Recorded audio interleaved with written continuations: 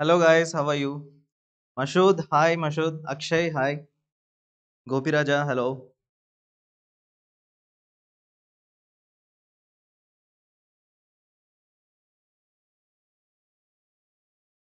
Kaushal Suman hi Kaushal C H Karthik Yashwant hi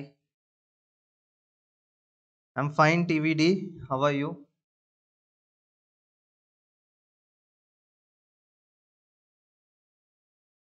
Hi, Scalpel. Yunus, hi Yunus.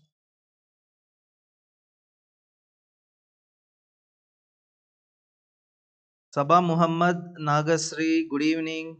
Sabah Muhammad, hello. Hamail, hi Hamail.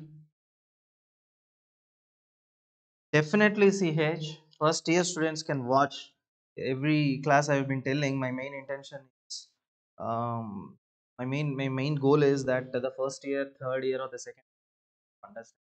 That is why I'm teaching it uh, completely, you know, clearly and every point. Revanth Reddy, after upper limb and lower limb, we shall do thorax, and after that we shall start the neuroanatomy. Alekia, good evening, Alekia. Right, guys. So, shall we start, or is there any of is there anyone of your friend who is waiting, or shall we start? I hope no one is waiting, right? Good evening, Mohammed. Good evening, Saujanya, 1991. Hi, Adil. Good evening, Sanyasi Pandit. Okay, let's start. Let's start now. Okay. So, guys, yesterday's class. Okay, yesterday's class. I hope you have revised it. Okay, after today's class, I'll be sending you the notes. Okay, I'll be sending in the notes. So, in the yesterday's class, we have done a lot of questions. I think. I hope all of you and uh, starting time Mohammed just now. Okay, so I hope most of you have solved this questions. Those who attended yesterday. So we have talked everything, right? We have talked the ulnar now. We have talked the medial now, radial now, and the spaces of the hand and everything. We have talked everything, right? Now we are left over with the arterial supply of upper limb, the brachial plexus, and the topics which were given in the poster over there. Okay, so these are the very important topics, and we shall start. Now, before starting with the brachial plexus, one very small and minute topic I just want to cover it. Okay, so that topic is nothing but your ligaments regarding the wrist joint. Okay, so first important thing you need to know is that I hope you are all writing it down. The first important thing you need to know is that this is your radius, this is your ulna bone. Between the radius and ulna, this triangular uh, ligament or whatever is this, this is called as articular surface or radio ulnar ligament. Okay, this is called as articular disc. What is this? Articular disc, or you call it as radio ulnar joint radio ulnar joint okay? Now coming to the wrist joint how basically this wrist joint is formed? Look here. Look here very carefully. Capitate is the largest muhammad amir. We have discussed about the carpal bones long long ago itself so you can watch in my previous lectures right? So coming to these carpal bones right uh, the first carpal bone is scaphoid right? After that you have got uh, lunate and after that you have got uh, triquetrum and then pisiform right? I see this is the pisiform small bone is called pisiform and next important thing in the lower row we have got trapezium we have got trapezoid we have got capitate and we have got hamate. These things you know. Now wrist joint is formed between most of you think wrist joint is formed between formed between radius high mid booster. Wrist joint is formed between radius, ulna and the first row of carpal bones, but it is wrong. Ulna bone does not take part in the formation of wrist joint. So how wrist joint is formed is, look here very carefully. Wrist joint is formed between the radius and the articular disc. Wrist joint is formed between the radius, articular disc along with the scaphoid, lunate as well as the triquetrum or the proximal row of your carpal bones. So this is how the wrist joint is formed. Okay, so let me write it down. Wrist joint, wrist joint is formed between radius articular disc radius and articular disc that is joining with what the first row of carpal bones that is scaphoid lunate as well as triquetrum this is very very important to know. Okay? So this is first important thing. second important thing is that surrounding the wrist we have got some ligaments guys. Now what are these ligaments surrounding the wrist? Look here very carefully. From the radius from the radius bone uh, what is this part of the radius called as? Can i call this as the styloid process of the radius? Right? All of you know this is styloid process of the radius. Even for ulna also we have got styloid process of the ulna. So all the way from the radius till the tri trapezium bone. All the way from the radius till the trapezium bone you have got a ligament. And this ligament is located on the radial side. So this is called as radial collateral ligament. What is this ligament? This is called as radial collateral ligament. What is this ligament? This is called as radial collateral ligament. Next important thing is that we even have a ligament exactly on the opposite side. For example you have got a ligament all the way from the styloid process of the ulna till this triquetrum till this triquetrum bone okay? So this ligament you call it as obviously what is this ligament you call it as? One is the radial collateral then the other side will be obviously ulnar collateral right? Ulnar collateral.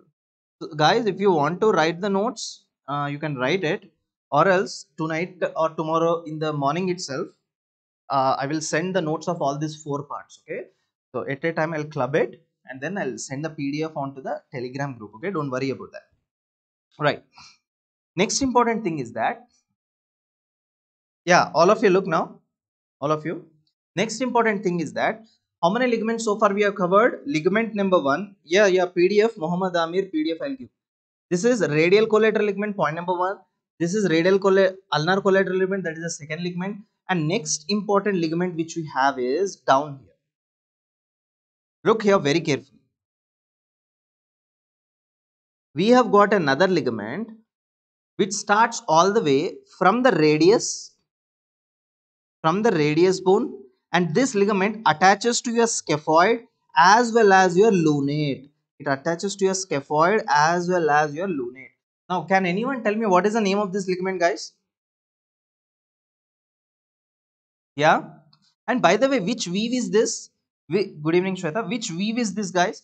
If i'm showing it to you like this right? So this will be my right side. This will be my left side right? So this is the right side right side and this is the left side. I mean this is the lateral and this is the medial.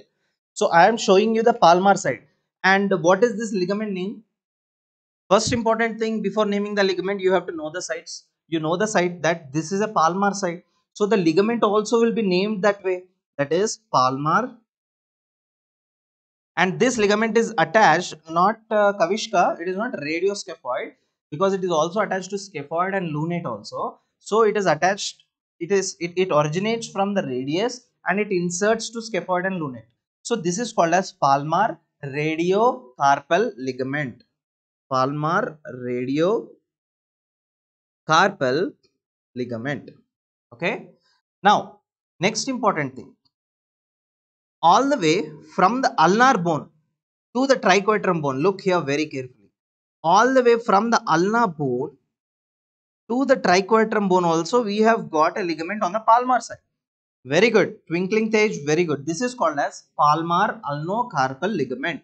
What is the name of this ligament? This is on the palmar side. So palmar okay ulnocarpal ligament. Ulnocarpal ligament. Ulnocarpal ligament. So additionally two ligaments palmar radiocarpal palmar ulnar. so we are done with the ligaments on the wrist now we are done with the ligaments on the palmar side. Now if i'm turning on to the dorsal side here also i have got some ligaments. So this is the picture on the dorsal side. Okay? On the dorsal side look here. There is a ligament that attaches all the way from the radius to the carpal bones like this okay? So obviously this will be called as dorsal radio carpal ligament. This is very very very easy guys. I don't find that it is difficult right? You have got uh, radial collateral ligament ulnar collateral. Palmar radiocarpal ulnar palmar ulnocarpal. And on the back we have got dorsal radiocarpal. So if you look at the pictures it would be really really easy for you to understand. Okay next important thing next important thing is that we shall start the brachial plexus and one more important thing i'm going to tell you is that i'm going to teach you the arteries of uh, subclavian artery uh, branches of subclavian artery axillary artery anastomosis around the elbow anastomosis around the scapula not only that i will also teach you the arteries of the, the, the palmar arches, right? The radial as well as the ulnar artery, okay? The radial as well as the ulnar artery. So, superficial palmar arch, deep palmar arch are there. So, I think it would be really better if I draw it on my hand and explain you the radial as well as ulnar artery and its branches, okay? So, it is going to be super exciting. I want you to be till the end of the session, right? Let us start brachial plexus. Can anyone tell me how does this brachial plexus arise? From where does this brachial plexus arise? All of you know brachial plexus arises from C5, the spinal segments of C5 till T1. But what is an exact answer? Yes? No SP? No, it is not. It doesn't start from the axillary artery. Artery is different.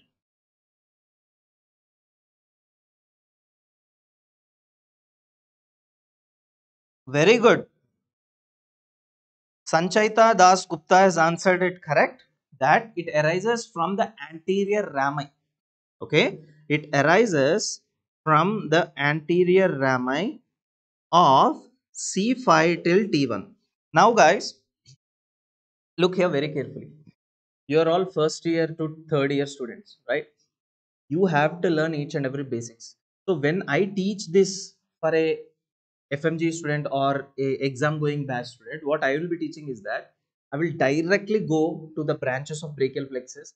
Directly, I'll teach what is Klumpke's paralysis, what is uh, the complete claw hand or the Erb's palsy. So, as a first and third year students, you definitely have to know from the basics. So, I'm going to teach you from the basics. Best the rest of my videos are in the channel itself don't worry. So be patient guys. Be patient. You will learn everything from the basics. Okay? Now i'll be drawing a picture from that two very important mcqs will be definitely asked now what is that look here this is your spinal cord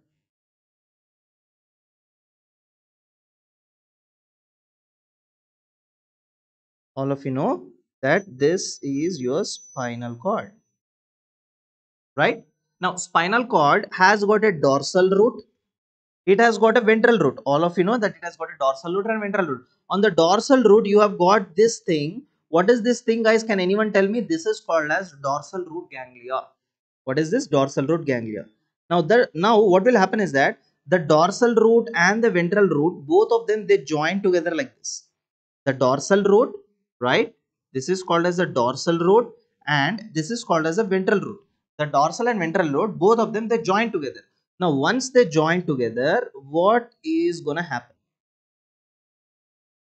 they divide into two more branches. What are these two more branches? One is called as the posterior rami. Another one is called as the anterior rami. So what i was just telling you is that this brachial plexus arises from the anterior rami. Posterior rami will go on to the back. Anterior rami will come front. Okay? So i have drawn only on one side. But on the other side also the posterior rami will go back like this anterior rami will come front like this and form the brachial plexus. Clear? So this is what i was telling that brachial plexus arises from this anterior rami of c5 till t1 okay? Now as i'll be teaching i'll be telling you some more important points. But for now what you need to know is that within the spinal cord from which enlargement does this brachial plexus arise, guys? Can anyone tell? See, all of you know that uh, this is your spinal cord. All of you know that this is your spinal cord. Okay, let us say that this part is your spinal cord. Now, in this spinal cord, in this spinal cord, you have got some enlargements. Let us say we have got some cervical enlargement, lumbar enlargement, and all so in the same way, in this part of the spinal cord, this enlargement is called as cervical enlargement. Okay. Can anyone tell? Very good. Sanchayita Gupta, very good. Karthik Dasari, perfect. Now, can anyone tell From which vertebral level till which vertebral level do we have this cervical enlargement, guys? Very, very important MCQ. Can anyone tell that?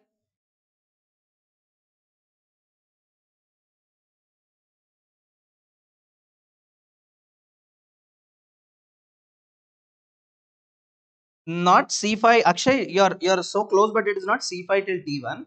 It is all the way from C3 till T2. All the way from C3 till T2, we have got cervical enlargement. Now, from this cervical enlargement only, from this cervical enlargement of spinal cord only, we have got a plexus. This is called as brachial plexus. And second important thing, I want to cover it here itself that all of you know that this is your sternum, right? Uh, Izar Khan, I will post a telegram link here. Through that, you can access my notes, okay? Don't worry. Now, please concentrate on the class, Izar Khan. Very good, Amon Loloma. Perfect. He's right. C3 till T2. Now, this is your clavicle. This is your clavicle. Now, this brachial plexus, all the way from the cervical enlargement, it comes, it goes behind the clavicle and then comes out. In this way, we are dividing the brachial plexus into three parts. What are the three parts of the brachial plexus? One is called as the supraclavicular part, supraclavicular part, and next part which is behind the clavicle, that is called as the retroclavicular part, and next which is below, that is called as the infraclavicular part. Infraclavicular part. And next important question they're going to ask you is that, see, this is your rib. This is your first rib, let us say. This is your rib number one. There are two muscles that attach to the rib number one. Any guess? Any guess, guys? What are the two muscles that attach to the rib number one?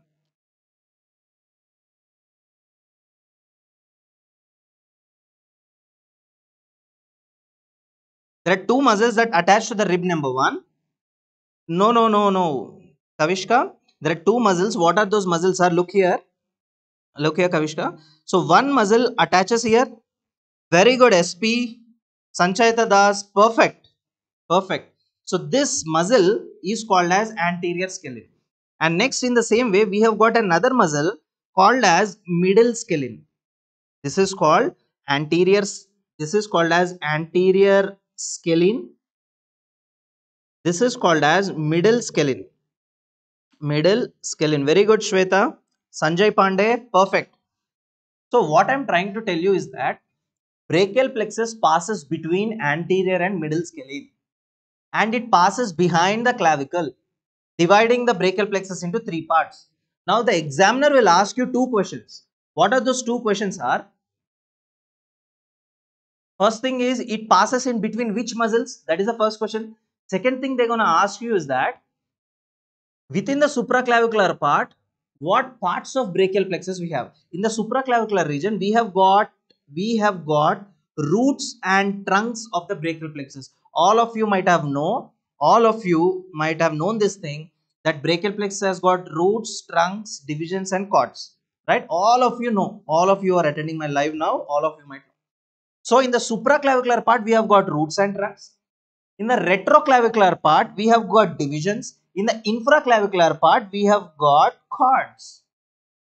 From here itself, guys, many, many MCQs can be framed. So before, before I go and teach the brachial plexus, have you all understood whatever I discussed just now? Yes or no? Be fast.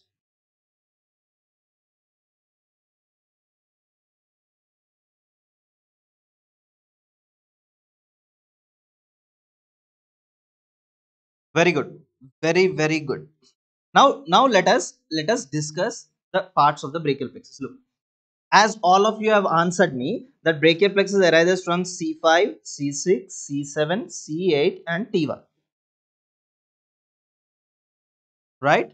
C5 c6 c7 c8 and t1 now from c5 also we get this thing this is called as a roots. Okay from C6 root, C7 root, C8 root, T1 root. What are all these? These are called as roots. Now what will happen is that C5 and C6 root they join together to form a trunk.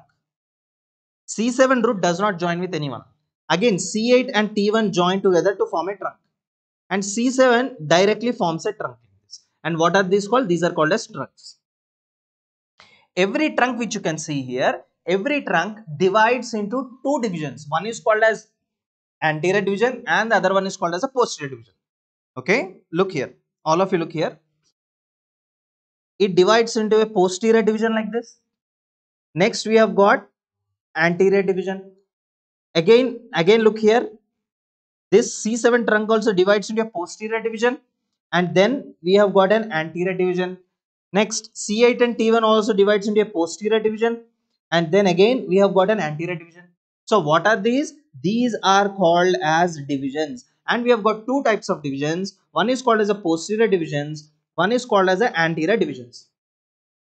Next step what is going to happen is that all these posterior divisions they join together to form posterior cord Look here, the posterior division like this it will join, the posterior division here also it will join and finally all these posterior divisions they join together to form this cord and this cord you call it as a posterior cord.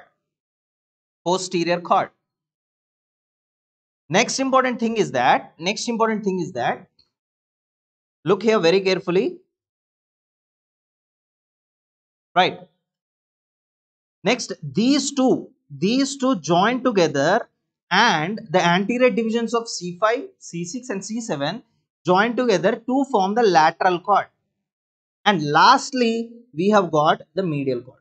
So how many cords of brachial plexus we have? We have got the posterior cord we have got the lateral cord and we have got the medial cord. Okay? Posterior cord is formed by all the posterior branches joined together to form the posterior cord. Next, anterior divisions of C5, C6 and anterior division of 7 joined together to form the lateral cord. And C8 and T1 alone forms the medial cord. Have you all understood this thing?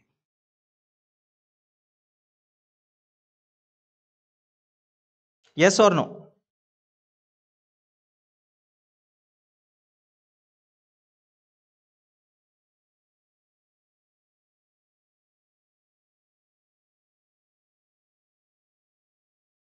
Guys, come on.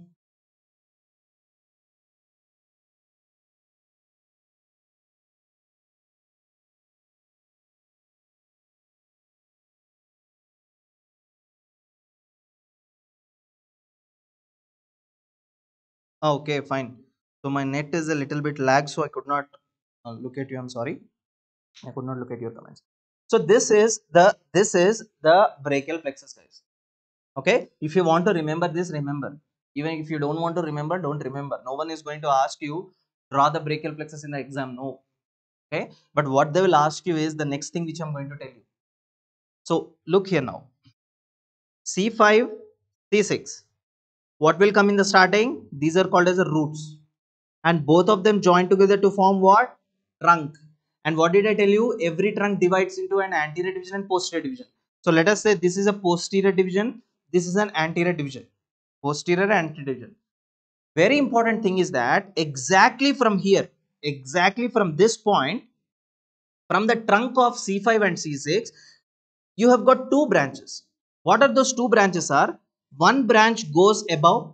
If it is going above, I call it as supra. Next, one branch goes below. If it is going below, I don't call it as infra, rather I will call it as sub, S-U-B, sub. Okay. Now, what is that branch that is going above? That is called as suprascapular nerve. This is a way to remember. This is called as suprascapular nerve. And what is the branch that is going below? That is a subclavius. That is nerve to subclavius. Nerve to subclavius muscle. Nerve to subclavius muscle. Shweta long thoracic nerve I will tell you. I will tell you in a minute. Very good med booster. Very good. Samir Parashi very good. Very good. Why did you delete? You're right. So we have got suprascapular nerve nerve to subclavius okay? So I'm not writing it again. So we have got suprascapular here and down we have got nerve to subclavius. Okay? Now if i am highlighting this area if i am highlighting this area how many nerves can you see here guys? Let me write down the list here. How many nerves can you see? First is c5 root. C5 root. Next is c6 root. C6 root. Okay? After that you have got let us say a is suprascapular nerve. B is nerve to subclavius So you have got A, that is suprascapular nerve. You have got B, that is nerve to subclavius, isn't it? After that, you have also got posterior division and anterior division. Let me also write it that posterior division and anterior division. So just count it guys, how many? 1, 2, 3, 4, 5, 6. So this area is involving six different types of nerves and this area you call it as Erb's point. What is this area you call it as? This area you call it as Erb's point. Erb's point. Why am I calling it as Erb's point? Because this is the area that is going to damage in case of Erb's palsy. Right? Erb's palsy. So if someone asks you, what are the nerves that are involved in Erb's point, not Erb's palsy, nerves that are related with the Erb's point, that will be C5, C6, suprascapular nerve to subclavius, posterior and anterior division. Clear all of you? Right? All of you are clear, right? Fine. Now, if someone asks you, if someone asks you, what are the branches that are involved here? Can anyone tell me what will be the branches, guys? Anyone? Come on. See, we have got posterior cord, we have got lateral cord, we have got medial cord. So let us write down all of them. We have got posterior cord, right? We have got lateral cord. We have got medial cord.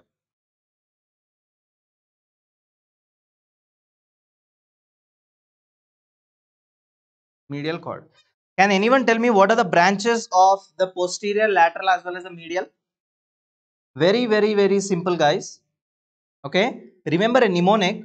Remember a mnemonic. Remember posterior cord with a mnemonic ulnar. U-L-N-A-R. Ulnar. Okay. Remember medial cord with M for U.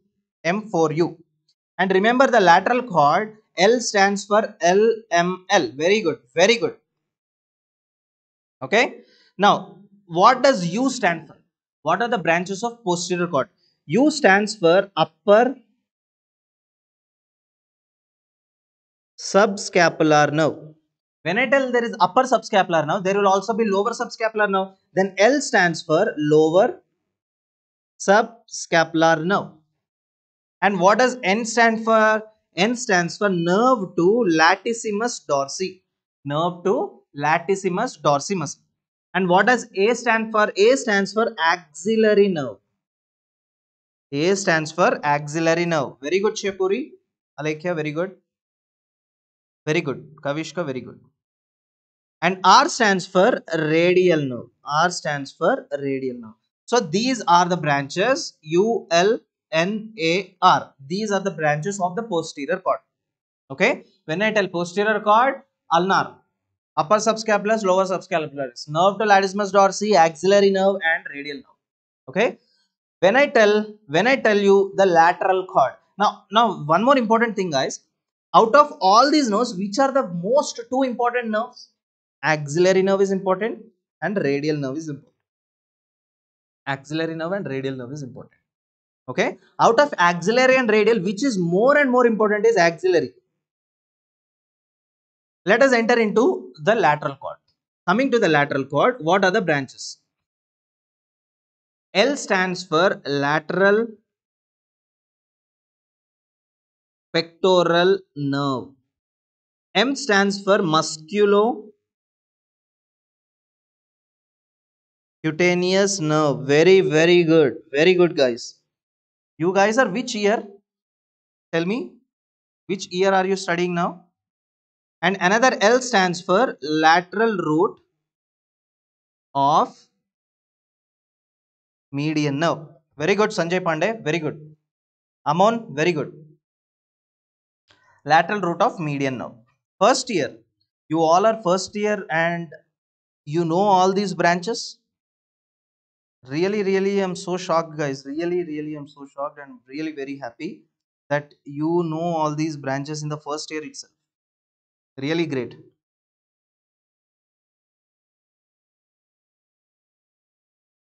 thanks to your faculty as well right coming to the medial cord M4U. What does M stands for? See, if there is lateral pectoral nerve, there will also be medial pectoral nerve.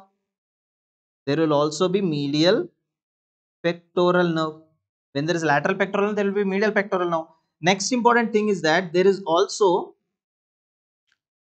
medial cutaneous nerve. Medial cutaneous nerve of arm. Okay? So it gives sensory supply to the medial cutaneous nerve of the arm means it gives sensory supply to the medial side of the arm. Then what about the medial side of the forearm? It is also giving a branch to medial cutaneous nerve of forearm as well. Medial cutaneous nerve of forearm.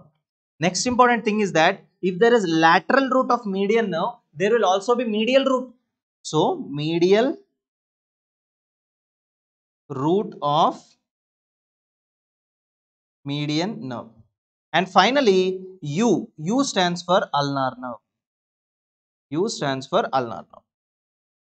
Clear? U stands for ulnar nerve. Okay?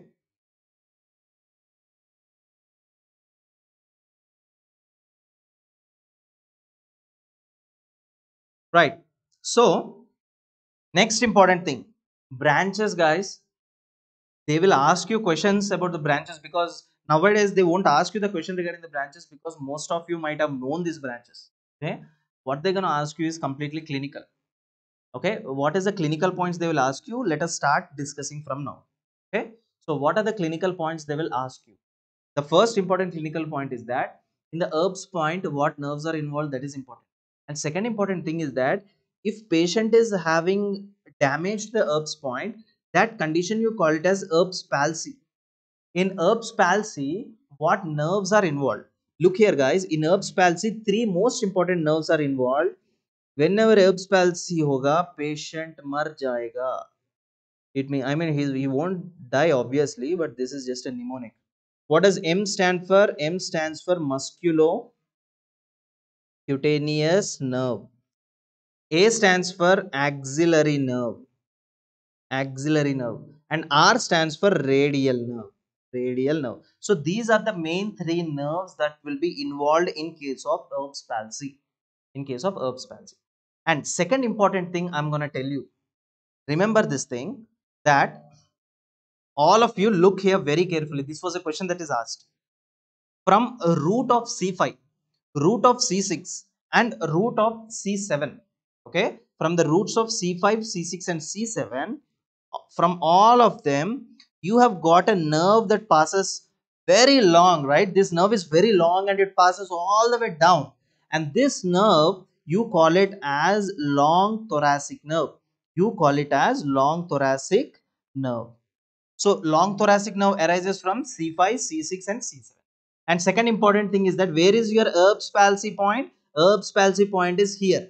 And remember one thing, whenever patient is having, again I'm telling you, remember one thing, whenever patient is having problem to this Erb's point whenever patient is having problem to this Erb's point or Erb's palsy after the lesion this is Erb's point okay? This is c5 c6 root this is Erb's point. After this whatever nerves are there might be posterior cord lateral cord anterior cord or anterior division posterior whatever nerves are there after the Erb's point all of them will be affected but before the Erb's point, whatever nerves are coming out, they won't be affected. So as you can look in the picture over here, before the Erb's point, what is coming? From C5, C6 and C7, long thoracic nerve. So always and always and always remember that in Erb's palsy, long thoracic nerve is not involved because it is before the lesion, not after the lesion. Clear everyone?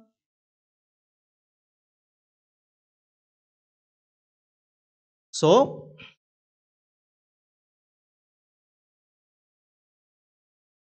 long thoracic nerve not involved in Erb's palsy. In Erb's palsy. Okay. Always and always remember in Erb's palsy before the lesion whatever are there they are not involved. Right. So first of all let us discuss about Erb's palsy. What is Erb's palsy? Erb's palsy is nothing but damage to C5 and C6 roots damage to C5 and C6 roots will lead to Erb's palsy. And whenever patient will have Erb's palsy, you will have a characteristic appearance that is called as policeman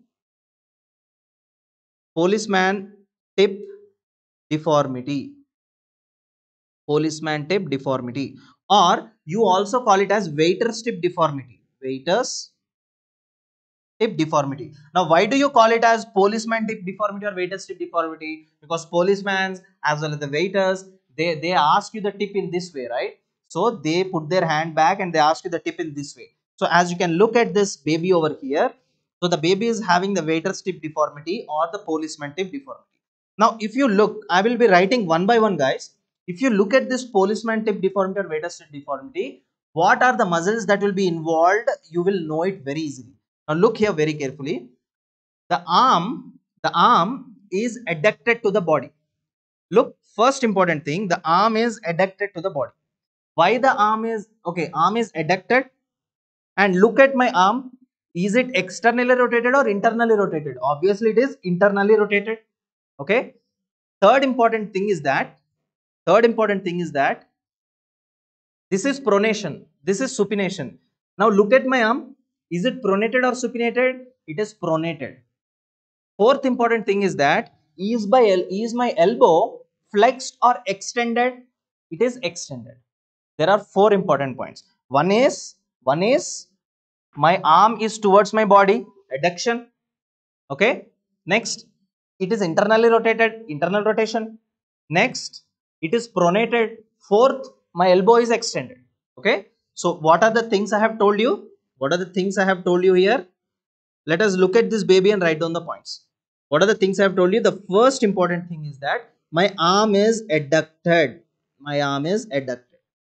Second important thing is that my arm is pronated. Pronated. Third important thing is that it is internally rotated. It is internally rotated. And fourth important thing is that my elbow is extended. My elbow is extended. Now if you look at this now if you look at this yes muhammad amir what happened muhammad whatsapp number don't worry. Even if i don't give you a whatsapp number you can be in continuous contact with me through telegram facebook or Uh, whatever sources we have here okay? So whatever help you need whatever materials you need i am there to provide okay? So coming adducted pronated internal rotated and elbow extended okay? Now why the arm is adducted? Why the arm is adducted like this? Why it is sticking to the body? Why it is closely adhered to the body? Because my arm i cannot raise my arm. I cannot abduct my arm. That is why it is adducted okay? Second important thing why my arm is pronated because i cannot supinate my arm. That is why it is pronated. And why my arm is internally rotated? Because i cannot externally rotate it. That is why it is internally rotated. And why my elbow is extended? Because i cannot flex my elbow. That is why it is uh, extended. Okay? So but i'm taking you slowly to the lesions of whatever are happening to the muscles guys. So just pay attention why it is adducted because abductors are weak. Abductors are weak. Now what are the abductors do we have here? Tell me. What are the abductors? Here we have got an abductor. This is called as deltoid muscle. When deltoid will contract my arm will abduct like this. Second important thing i have told you in the previous lecture that there is a muscle which comes from the top like this and attaches. What is this muscle which is coming all the way from the top guys anyone?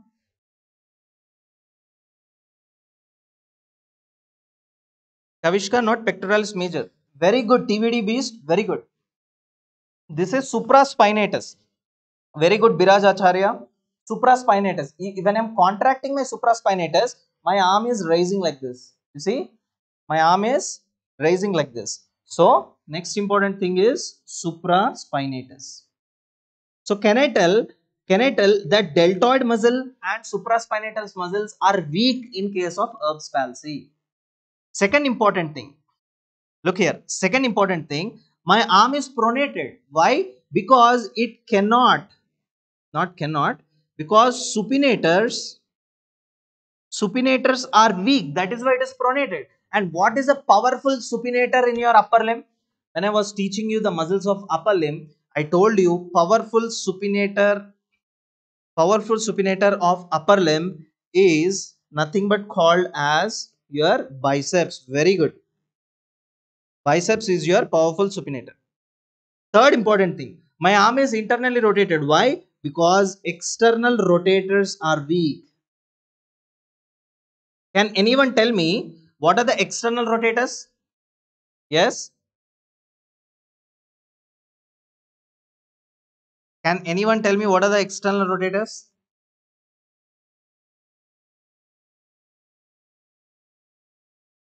Uh, Shujat, it is not teres major, it is teres minor. Okay, Sanyasi Pandit, very good. It is teres minor. It is teres minor as well as infraspinatus also. Infraspinatus. And finally, my elbow is flexed. My elbow is flexed. Why? Because my elbow cannot be extended. Sorry, sorry. My elbow is extended. Why? Because it cannot be flexed. And what is a flexor here? Obviously, here flexors are weak because of biceps.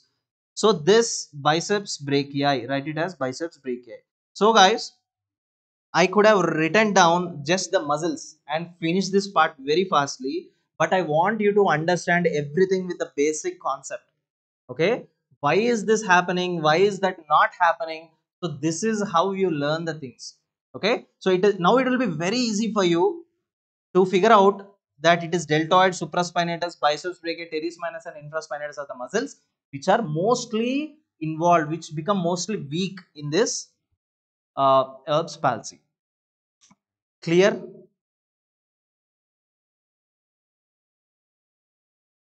Nohan, I even don't know Hindi properly, but it would be really very difficult to understand. I mean, to teach you in uh, Arabic. Right. Uh, have you understood this? Right. So we, I think we are done with Erb's palsy, right? So guys, all of you know that whenever we discuss about uh, this, uh, whenever we discuss about this, uh, what is this? Brachial plexus, we discuss about two nerve injuries. C5, C6 nerve injury is called as uh, Erb's palsy. C8 and T1 nerve injury is called as Klumpke's palsy, right? C5, C6 is Erb's palsy. C8, T1 is Klumpke's palsy. Now, out of these, which is upper and which is lower? Tell me. C5, C6 is upper. C, C8, T1 is lower. So, guys, Erb's palsy is also called as upper trunk palsy. Upper trunk palsy. And Klumpke's is also called as lower trunk palsy. Okay. This is called as upper trunk palsy and this is called as lower trunk palsy. Clear? So, this is a very important thing. Now, now shall we shall switch on to now we shall switch on to the Klumpke's palsy. Okay. Now we shall switch on to Klumpke's palsy. Right. So Klumpke's palsy is involvement of C8 and T1. Whenever patient will have Klumpke's palsy, the only one important thing he will have is claw hand. Again, I'm telling you, this is not this is not ulnar claw which we discussed yesterday. This is a claw hand. Claw hand in the sense the hand becomes completely like this. Ulnar claw in the sense only the ulnar part is flexed. This is claw hand. The complete hand becomes like a claw in this way, right? This is claw hand. Okay. Now, in this claw hand, ulnar nerve is involved plus median nerve is involved. This is a favorite MCQ of the examiner. Every time they ask you to filter the questions, I mean filter the students out. Very, very, very important. Now, in this claw hand, two important things you can find. The first important thing is that this is metacarpal, uh, metacarpal and phalange, and this joint here you call it as metacarpophalangeal joint. Is my metacarpophalangeal joint flexed or extended? It is extended. So the first important thing is extension of metacarpophalangeal joint. Second important thing is that second important thing is that look at my interphalangeal joints. Between the phalanges, I have joints called as interphalangeal joints. Look at the interphalangeal joints. Are they flexed or extended? They are flexed. So flexion of interphalangeal joints. So whenever someone asks you what is claw hand, just don't show them this thing. Instead, tell them that it is extension of MCP, flexion of IP, and it is because of ulnar nerve and median nerve involvement. Okay, ulnar nerve and median nerve involvement. Right now, next important thing. Next important thing is that, by the way, in Erb's palsy, we discussed that C5, C6 damage will lead to Erb's palsy, but how the damage might occur? C5, C6 is located here. C8, T1 is located little bit deep. C5, C6 on the top. So if let us say I'm sitting under a tree, uh, let us say a huge branch fell on my right shoulder. A huge branch fell on my right shoulder. So there are there any chances that C5, C6 injury can happen? Yes. So any any kind of heavy weight on shoulder. Heavy weight on shoulder. So this would lead to c5 c6 root damage. Right?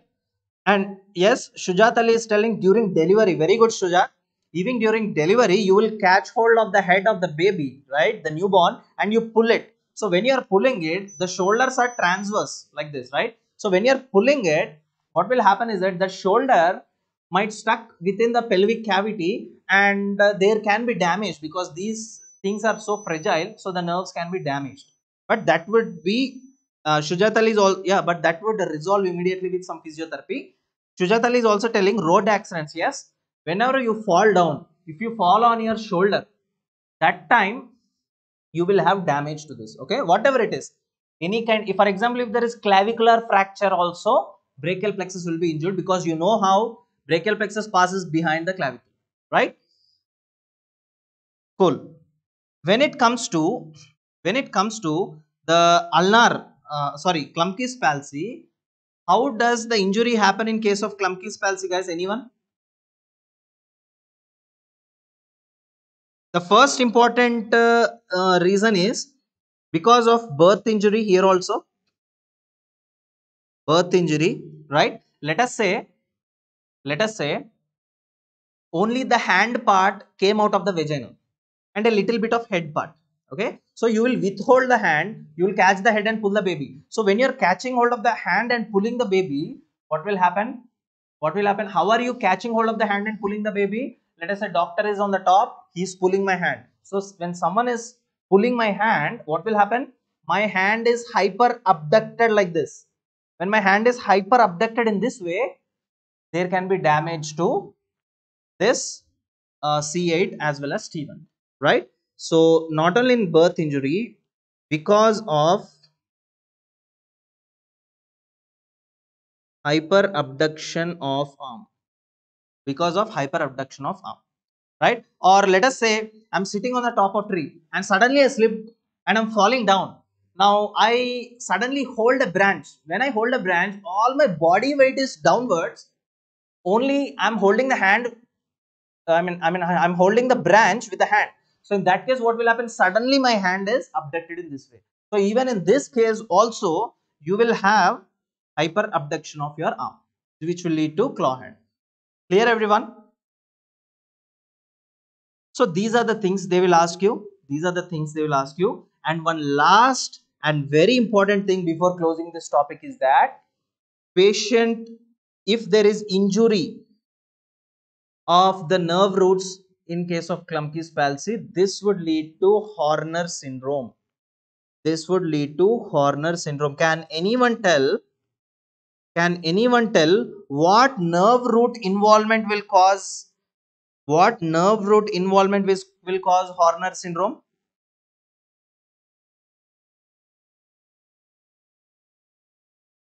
All of you are telling T1, uh, Farumullah. It is not T8 T1, T1, T1, T1, T1, T1. I'm a, okay, T1 fine. But what is the exact answer? Can anyone tell me the exact answer?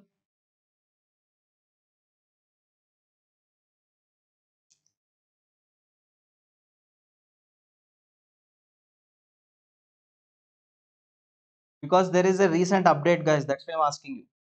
I want an exact answer. If you if you wanted to know the SP, SP, SP, SP has answered correct. Very good SP. It is white ramus of T1. All of you have to pay attention now. All of you have to pay attention. This is dorsal root. This is ventral root. Both the roots join together to form this. What is this called as? What is this called as? This is called as spinal nerve. This is called as spinal nerve. Okay. Exactly on the top of the spinal nerve here, if you look here, within spinal nerve will give rise to two more horns or two more branches, let us say. So there is one branch like this. There is another branch. So there are two branches. Now what will happen is that these two branches will join together. Now how these two branches will join? Look here. This is the branch. This is the branch. Now they both are joining together like this. Clear? So what am I trying to tell you is that see this is one branch and this is another branch. Now both the branches join together and both the branches join together to form this ganglion over here. This is called as sympathetic ganglia. This is called as sympathetic ganglion. This is called as sympathetic ganglion. Okay. Now what are these two branches here? This is called as gray horn. Gray horn and the other one is called as white horn. One is called as gray horn, another one is called as white horn or you can also call it as one is called as gray ramus another one is called as white ramus gray ramus and white ramus. Clear? And all of you know all of you know that here we have got some nerves. Can anyone tell me what are these nerves here? Yes? Can anyone tell me what are these nerves which i'm drawing? On the dorsal side what are the nerves we have? We have got sensory nerves. And on the ventral side what nerves we have? We have got motor nerves right manamela very good manamela. Ppp very good. Shahil shahil amrutkar. It is not c8t1 it is only t1 okay? Sp is right here. Next important thing is that we have nerves that are going down from the ventral root. These are called as motor branches. One we have got the sensory on the up motor on the down. So the sensory branches they join, motor branches they join together like this. Clear? They join together like this. Now look, this sensory branch enters into the gray ramus, whereas the motor branch it enters into your white ramus. Clear? It enters into your white ramus. Can anyone tell me these sensory fibers are also given another name? What is that name? Can anyone tell me?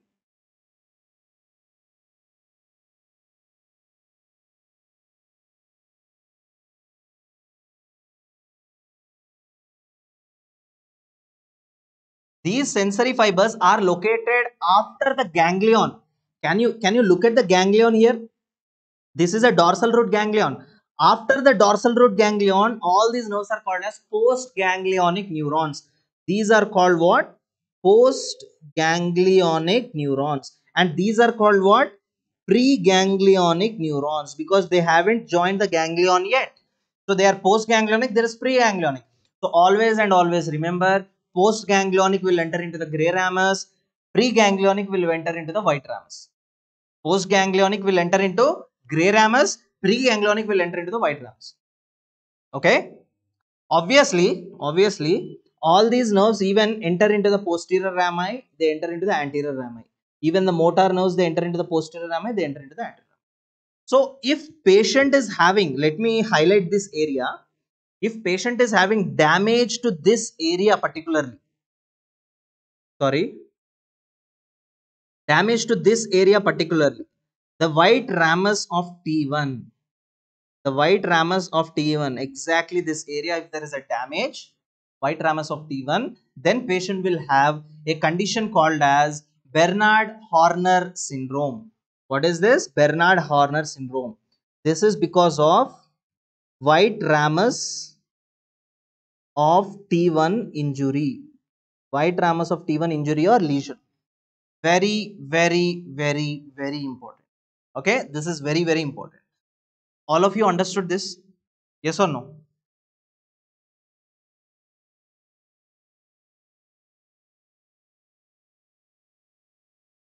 Yeah.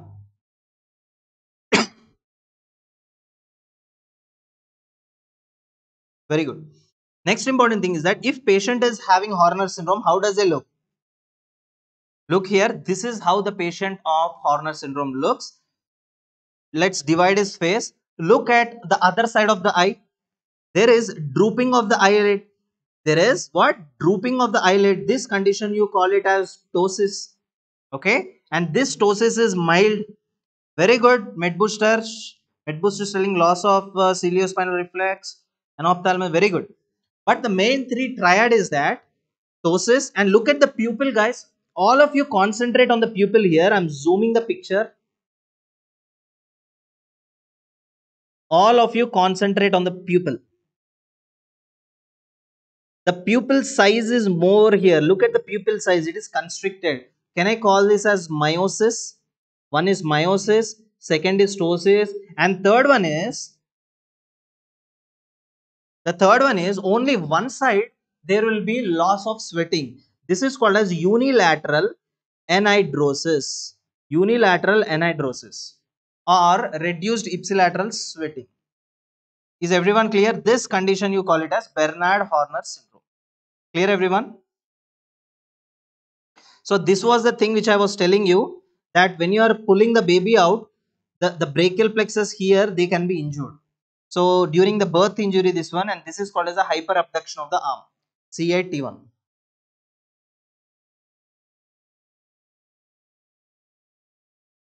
Right? And one last question which was asked from this is, what are the arteries that supply the brachial plexus? Can anyone tell?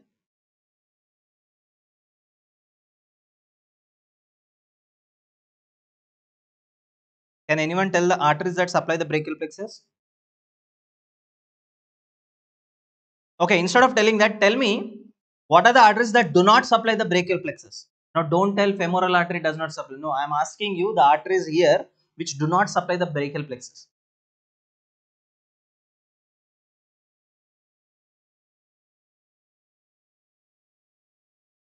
Very good. Remember one thing, carotid arteries do not supply your brachial plexus. Okay. Most of you think that carotid arteries will supply the brachial plexus, but no. Subclavian artery and vertebral artery. Subclavian and vertebral artery, both of them, they supply the brachial plexus. They supply the brachial plexus. Okay. So, these are the two arteries that supply the brachial plexus. Okay. Is everyone clear with this? Right guys, now let us start discussing the arteries of your upper limb. Okay, let us discuss the arteries of your upper limb. Now, when it comes to the arteries of the upper limb, uh, what are the important things? Can anyone tell what all arteries we can discuss in the upper limb? Anyone? What is the first artery?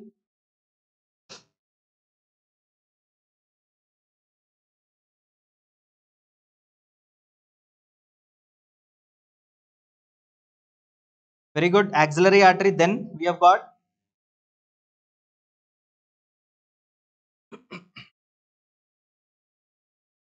radial ulnar. Very good.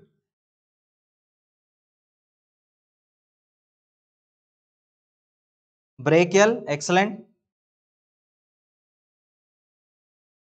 Right. All of you look here now. Coming to the arteries. Very good. Very good, all of you keep this thing in mind. Keep this picture in your mind every time. Okay? So this is your heart. Okay? This is your heart. And this artery which i'm drawing this is called as aorta this is the aorta what is this? This is called as an aorta okay? Now in this aorta you have got two important branches. Now what are those two important branches of this aorta look here now. This is one branch and this is another branch all of you concentrate here. I hope you definitely know all these things but please concentrate here. So one branch is this one which is going up. This is called as brachiocephalic trunk. What is this called as? Brachiocephalic trunk. This is called brachiocephalic trunk.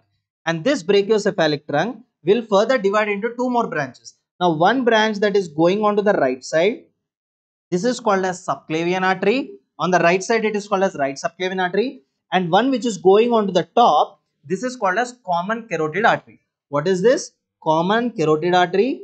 This is called as right subclavian artery. Clear? And this common carotid artery divides again into two. One is called as external carotid another one is called as internal carotid. Okay? Internal carotid artery external carotid artery. Clear? So this is all the network. So for example this is how you have the arterial anastomosis like this. Not anastomosis these are the arteries you basically have.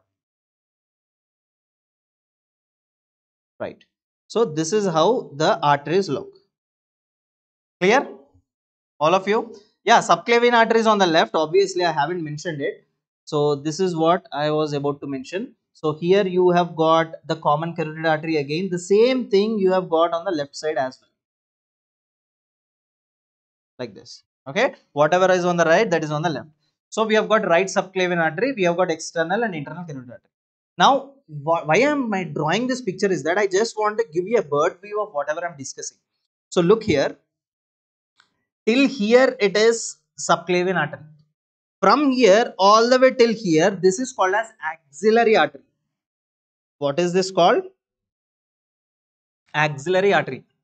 Now from here all the way till here this is called as brachial artery. What is this called? This is called as brachial artery. And what will happen is that this brachial artery will further divide into two branches. One is called as radial artery another one is called as ulnar artery. So this is called as radial artery and this is called as ulnar artery. So this is just an overview of what I'm going to discuss today with you. Okay. So we are we shall be discussing about the subclavian artery branches, axillary artery branches, brachial artery branches, radial artery and ulnar artery. So this is a continuation. If everyone is ready with me and everyone is with me right now, then we shall start discussing the branches. Is everyone with me now? Have you understood so far whatever I've taught you guys? Please be fast.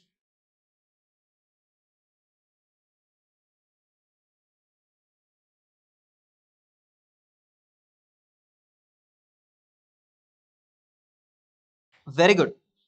Let's start now. Let's start. All of you don't write down anything. Don't write down anything. Just watch whatever I'm teaching.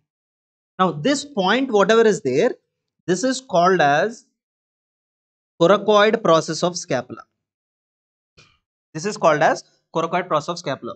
Now, from the coracoid process, we have got a muscle that is coming out like this. Now, this muscle is called as pectoralis minor muscle. What is the name of the muscle? This is called as pectoralis. Don't write down guys, I will be little bit fast. So, you have to go with me, don't write it down. This is called as pectoralis minor muscle. Second important muscle is that I have been teaching this again and again and again that from the medial lip we have got a muscle. From which lip? Medial lip.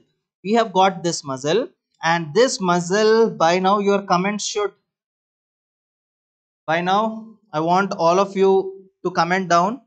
Very good. Kavishika is telling not pectoralis minor Kavishika it is teres minor teres minor teres minor not major guys oh, sorry yeah teres major i'm sorry yeah teres major. Thanks for correcting me. Teres major. Okay? Teres major from the medial lip. Okay? From the medial lip. Remember this mnemonic guys. Met. Met me means medial lip. Me means medial lip. T. T stands for only one major. Teres major. Then lateral lip will be pectoralis major. Okay? Very good kavshika. Very good. So this is the thing. Now the same things have drawn it down. Look here. This is your first rib. This is your first rib. Okay. And from the coracoid process, you have got your pectoralis minor muscle. This is your pectoralis minor muscle. And from here, you have got your teres major muscle. Okay. Pectoralis minor, teres major. Now, look here. This branch which I am drawing right now, this is your subclavian artery. What artery? First artery is always subclavian, right? So this subclavian artery, look here everyone, this subclavian artery comes down all the way. Okay. This subclavian artery, this is the first rib, right? So subclavian artery passes over the first rib. Subclavian artery passes over the first rib. And after that, it comes all the way down here.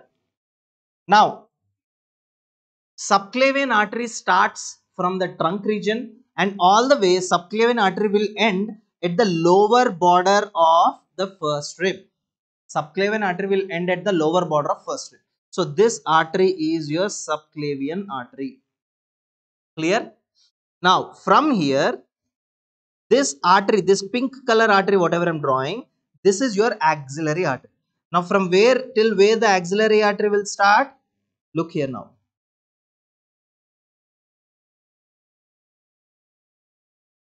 Till here. Clear? Axillary artery starts from the lateral border of the first rib, from the lateral border of the first rib till the lower border of teres major. Okay? Again, I'm telling you from the lateral border of first rib till the lower border of teres major is your axillary artery. Okay?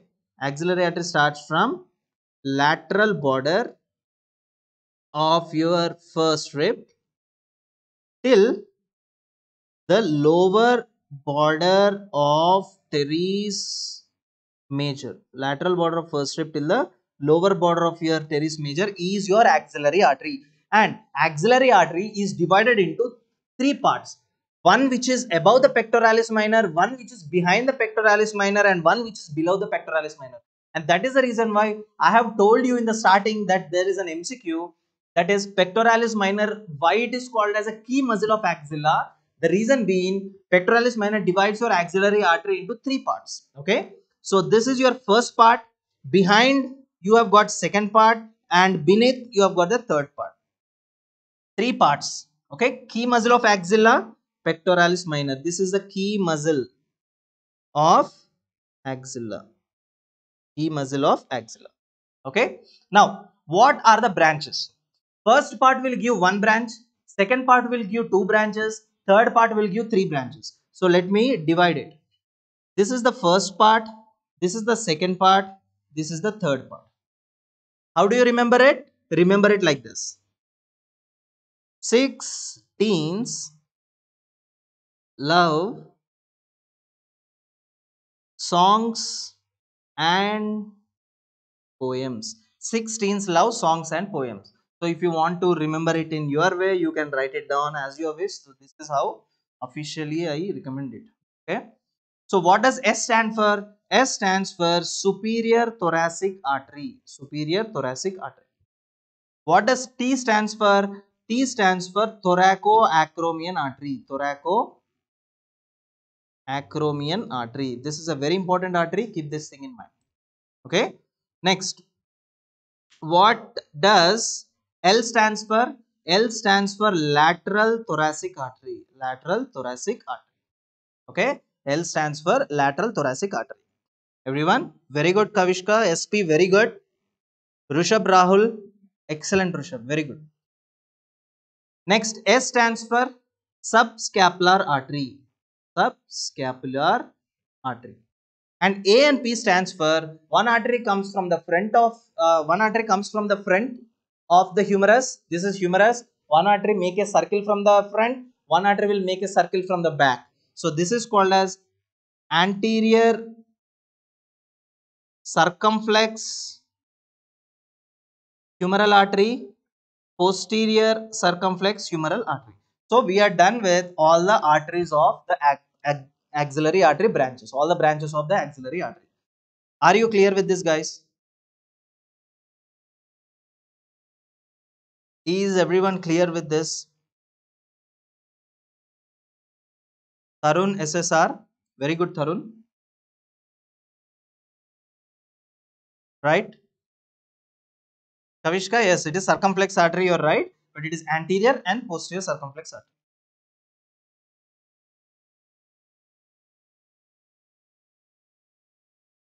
Anterior and posterior circumflex artery, right? So we are done with first thing what they'll ask you is branches. Second thing what they'll ask you is the topography from where till where the, the axillary artery ranges. Third important thing, what is the key muscle of axilla? So these three questions can be asked. Okay. Next, after that, we I told you I will discuss about the subclavian artery, right? So let us start discussing about the subclavian artery. Have you all understood this? Before I discuss subclavian artery, have you all understood this?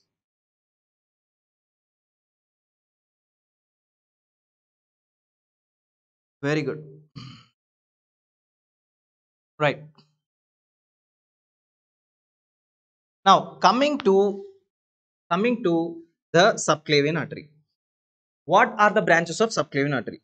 All of you know, all the way from the right side we have got subclavian artery going all the way like this, right? So this is the subclavian artery. This is the sternum and this is how the subclavian artery will pass. Okay. Now look.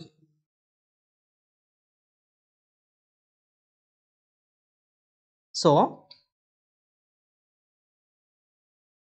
this is how the subclavian artery is passing. This is how the subclavian artery passes. So this is your subclavian artery. Again, one very very important thing here. Very important thing is that subclavian artery is also divided into three parts like axillary artery. And what is this muscle which is attached to first rib? In the starting, I told you when I was teaching you brachial plexus, there are two muscles that attach to the first rib. And what is this muscle here? Okay, what are the muscles that are attached to the very good Sanjay Pandey. Anterior scalene right? So this is your anterior scalene muscle. Anterior scalene muscle okay? This is your anterior scalene muscle. So can I tell anterior scalene is a key muscle here which divides the subclavian artery into three parts what are those three parts this is one behind the scalene retroscalene that is two after the scalene that is three there are three parts of uh, subclavian artery okay now, let us discuss one by one. The first part of subclavian artery, what are the branches does it give? All of you know pay attention because learning these branches is a little bit difficult. So, I will be teaching you as per the location as it goes. Okay. So, the first branch, the first branch is from the first part, there is an artery that goes stop like this. It passes through the vertebral foramina and ascends. On the other side also through the vertebral foramina it is going up it means it is called as vertebral artery. So the first branch A, branch A in the first part, branch A in the first part is your vertebral artery, vertebral artery. Okay. Second important. Yeah, very good. Mohammed Yunus is telling foramen transversarium.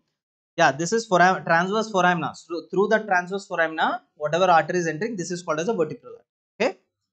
Second important thing uh, there is one more branch.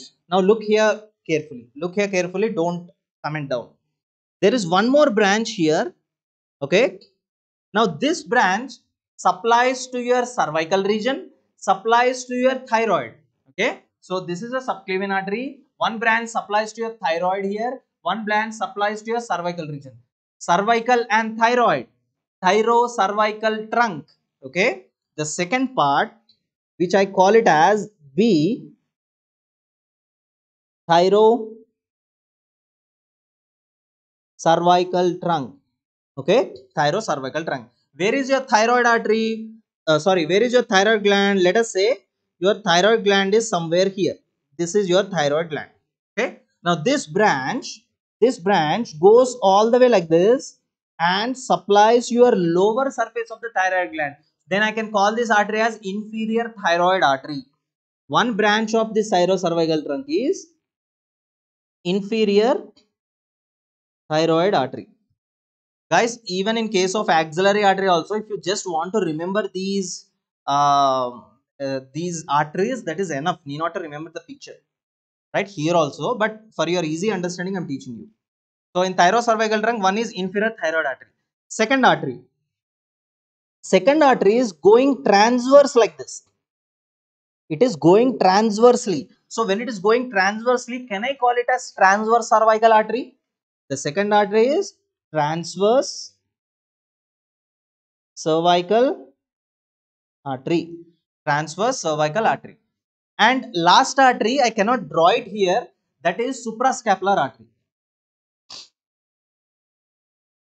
suprascapular artery. Are you clear guys? Three arteries, inferior thyroid artery, transverse cervical artery and suprascapular artery are the branches of thyrocervical trunk. Okay. Done. We are done with the first part. Coming to the second part. Coming to the second part. Now in the second part we have got one branch that is called as costocervical.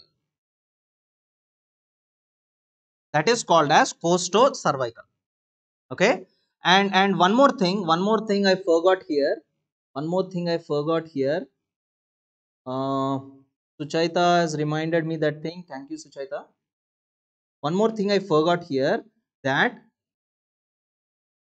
we have also got one more artery from the first part that is artery number c artery c okay so that artery goes inside look here that artery is going inside the thoracic cavity so if it is going inside the thoracic cavity, I call it as internal thoracic artery. So that artery goes inside the thoracic cavity like this. Okay. So this artery number C is called as internal thoracic artery. Internal thoracic artery. Okay. Internal thoracic artery. If you want to remember a little more, just remember that internal thoracic artery will give out two branches. Okay. So what is this branch and what is this branch? This is called as superior epigastric artery. Superior epigastric artery and another one is called as the musculophrenic artery. Why are you drawing musculophrenic artery below? Because diaphragm you have it here. So internal thoracic artery is going down and supplying your diaphragm. Okay, musculophrenic artery. Clear? Coming to the second part, costocervical trunk coming to the third part now coming to the third part third part is also got one artery that is called dorsal scapular artery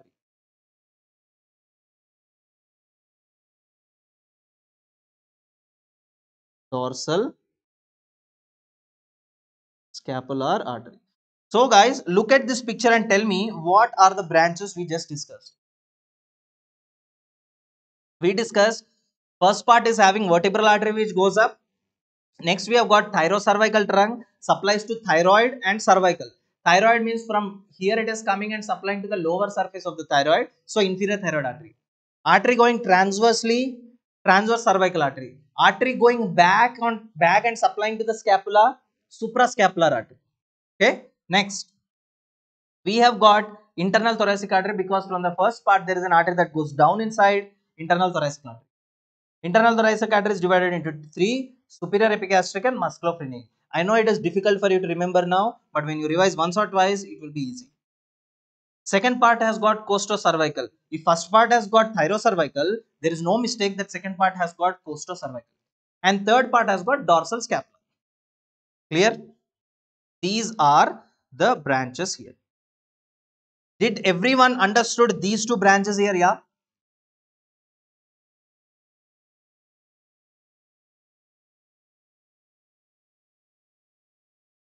Yes or no?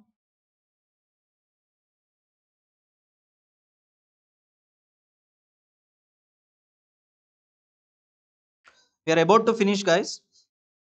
Venkatesh, head and neck we shall have at the end, okay? Head and neck we shall discuss very clearly, detailedly, slowly. Don't worry about that. I'll teach you head and neck very clearly. Don't worry about that. Shall we continue now? Now, one very important thing, very important thing is that all of you should pay attention now here i'm not telling you now i'll just draw it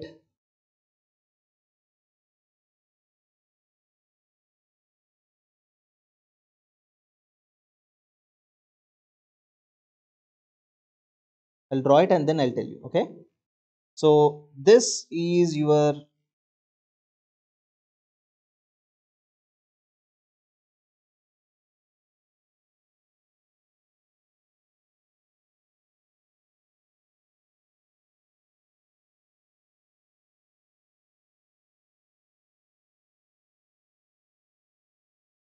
I'm just drawing the picture which you already know. I'm just drawing the picture which you have already studied. Okay. Right. What did I tell you in the starting? I told you that from the right subclavian artery, the first artery which goes up like this. Any idea, guys? Again, please. What is this artery? Vertebral artery. Okay. Uh, Frederick, I will recap at the end. Okay. So this is vertebral artery which is going up. So from the left subclavian also, we have got a vertebral artery which goes up like this. Okay. Both the vertebral arteries join together. Both the vertebral arteries jo join together and form this artery called as what is this? This artery is called as basilar artery. This artery is called as basilar artery. And what is this called? Vertebral artery. Vertebral artery. I'm really shocked, guys. You are in first year and you are answering very fastly. Really great. Right. Normally, how does the blood pass, guys? How does the blood move? Tell me. From the heart, blood enters. Look here now, very carefully. Don't comment. From the heart, blood enters into the brachiocephalic trunk, and blood enters into the common carotid artery. From there, here, blood enters into the right subclavian artery, and from here, it supplies to your complete upper limb. The left side also same. It enters into your common carotid artery on the left. It enters into your brachio.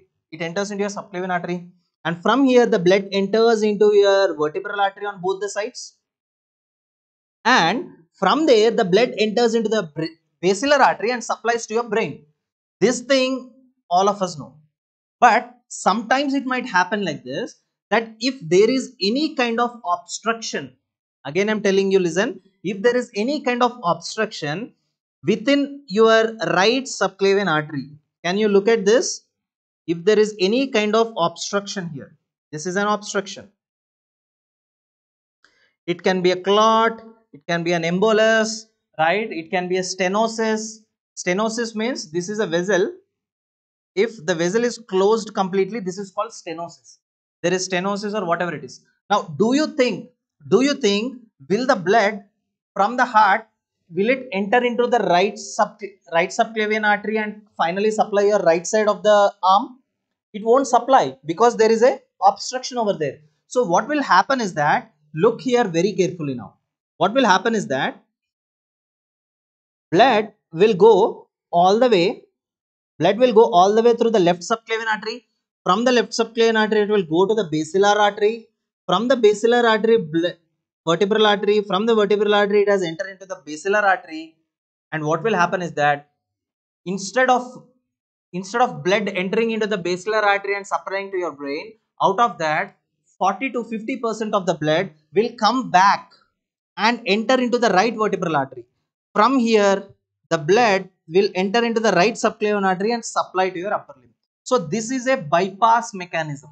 And because of this, what, what you are doing, what you are doing is that from the left side, from the left side, whatever blood is going to the brain, the right side of the body is stealing that blood, isn't it? It is stealing that blood. Look at the picture now.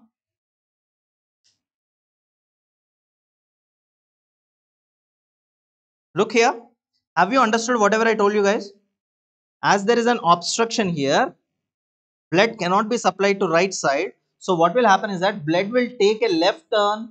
It will go up and from here blood will be supplied to your right side of the arm. You understood this? This condition is called as subclavian steal syndrome. Subclavian artery on the right side is stealing the blood from the left side. This condition you call it as subclavian. This is a clinical point. Subclavian steal syndrome. Have you understood subclavian steal syndrome guys? Everyone? Yes or no? Be fast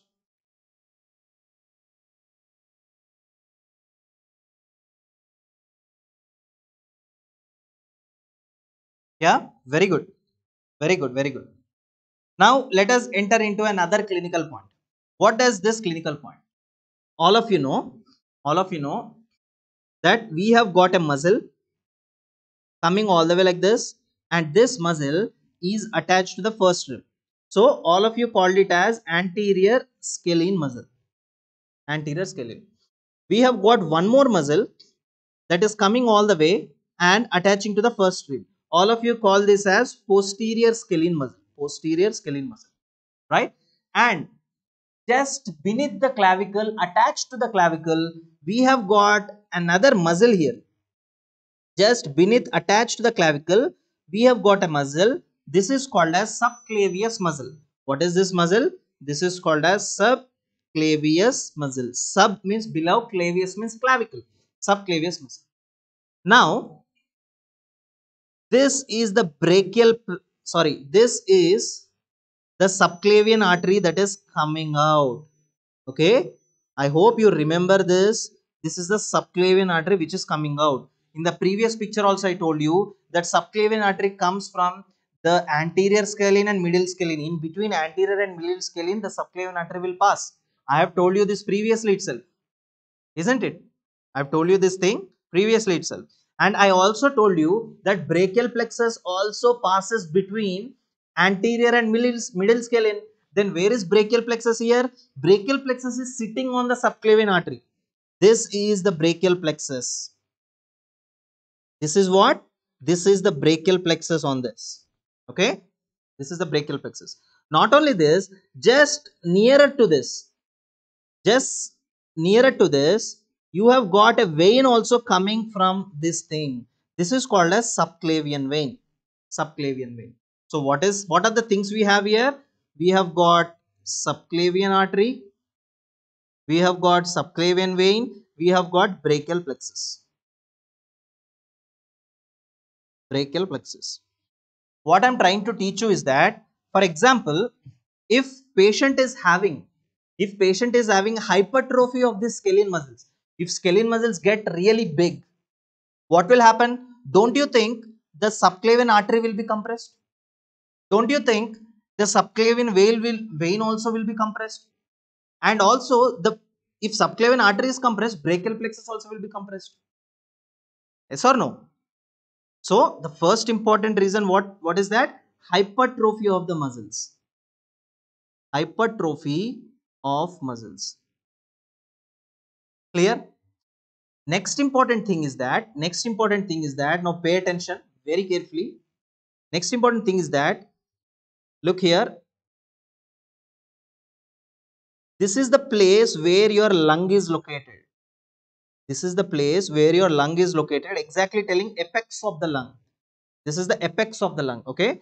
For example if the apex of the lung has got a tumor there is a tumor in the apex of the lung so when there is a tumor in the apex of the lung don't you think that tumor will compress your subclavian artery? Don't you think that tumor will compress the subclavian vein? And don't you think that tumor will compress the brachial plexus? This kind of tumor you call it as Pancoast tumor. Pancoast tumor. And where is this Pancoast tumor located? In the apex of the lung. Where is it? In the apex of the lung. And third important reason is that let us say uh, this patient is so lucky enough that he is having an extra rib in his body. I'll show you the picture down. Look at this patient here. Don't you find an extra rib? This is called as extra cervical rib. You see there is an extra cervical rib like this. So let us say if this patient is also having an extra rib like this there is an extra rib like this don't you think the space there gets so narrow and the subclavian artery vein and brachial plexus they get compressed? Third important reason is cervical rib. You call this condition as cervical rib. Okay? Basically this extra cervical rib arises from c7 okay? From c7 an extra rib will be formed as you can see in the picture. Now because of all these things these artery vein and brachial plexus is compressed. Okay if artery is compressed what will happen? The entire all of you guys take a rubber band tie it to your hand so hardly or take a rope and tie it to your hand so hardly what are the changes will you see? First thing your hand gets completely red. Second thing the temperature here falls down. It will get cool completely. Third important thing is that the hand will be little swollen. And fifth fourth important thing is that you cannot feel any kind of sensation here. Okay why the hand will become red because the the, the arterial blood is stagnant over here second thing is that why you will feel numbness because the nerves that are supplying here are not working why the hand swells up because of the veins that are releasing the fluid outside This condition you call it as thoracic outlet syndrome. So in the thoracic cavity, there is a problem with the outlet. You call this as thoracic outlet syndrome. Have you understood?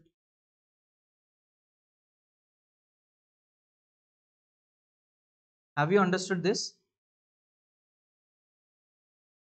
Everyone, clearly you understood it because this is very, very important, guys. You understood this?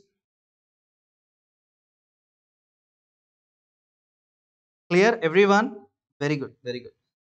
So, as you can see in this patient, the left hand is okay. You tell me in this patient, thoracic outlet syndrome is there. On the right side, the effect is on the right or the effect is on the left?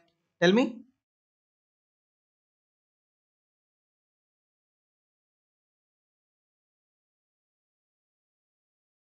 Very good. Very good, SP. It is on the right. Suchaita Das, very good. It is on the right side. Okay. See, the right side is swollen. The right side is a little bit red here, right? So this is thoracic outlet syndrome. I, I can also show it to you in this picture as well. You see this picture as well that the artery, the artery is compressed and it is swollen, right? So this is thoracic outlet syndrome.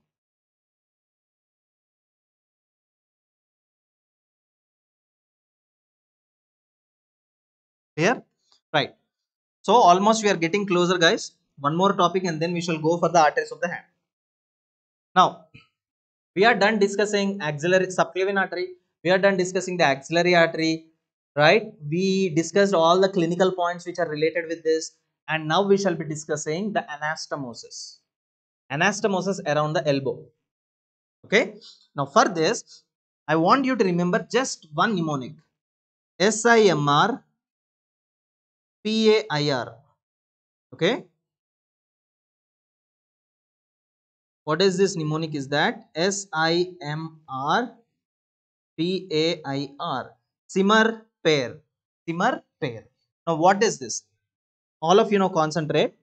This is very very easy and interesting. This is your brachial artery. Brachial artery is a continuation of what? Axillary artery. Keep that thing in mind.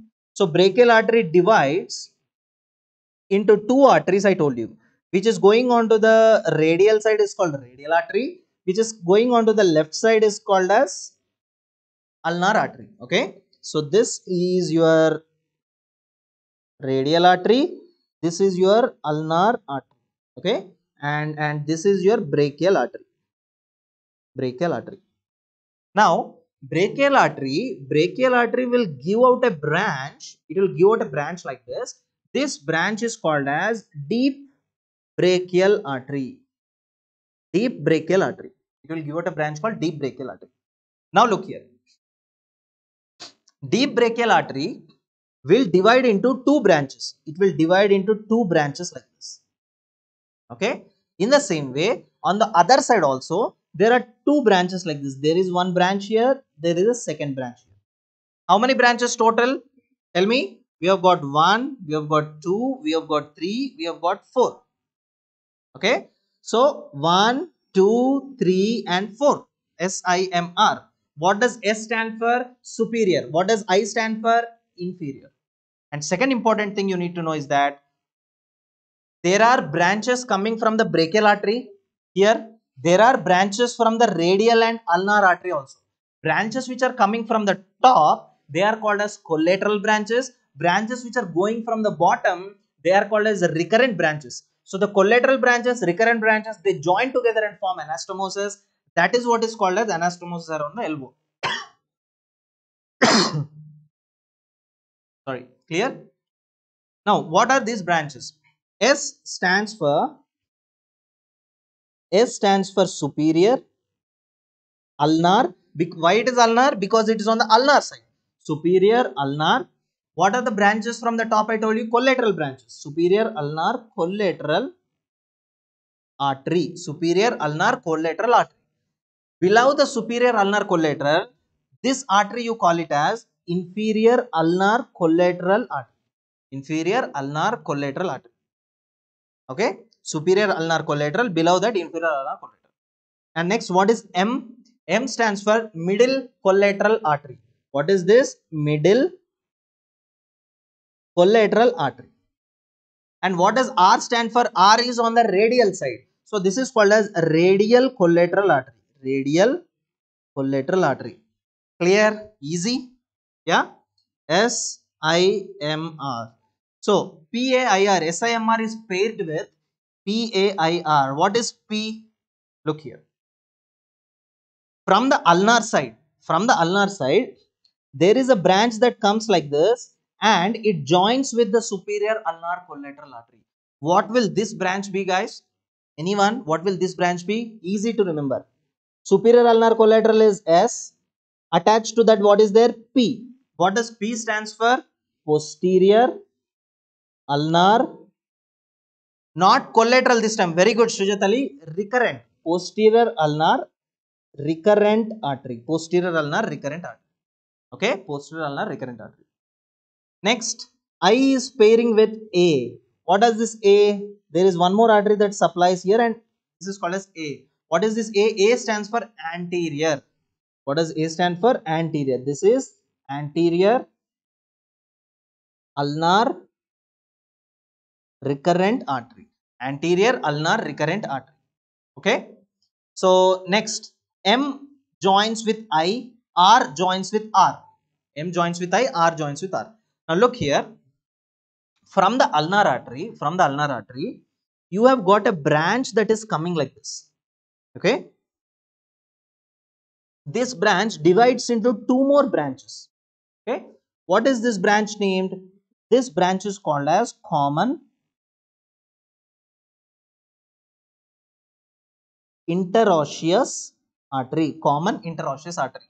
It is common for it is common for two arteries. One is called as anterior interosseous. One is called as posterior interosseous. Anterior and posterior interosseous. Okay? Now look here very carefully.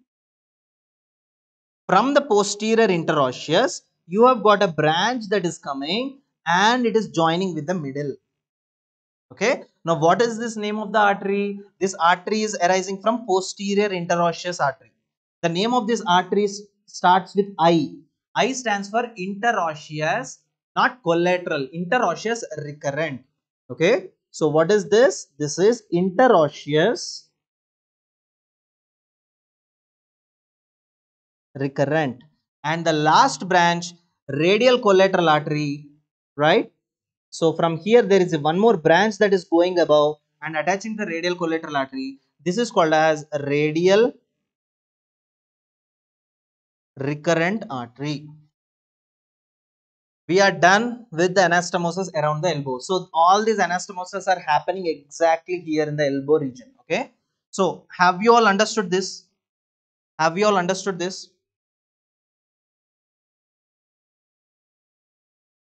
Two more topics are left. Have you all understood this guys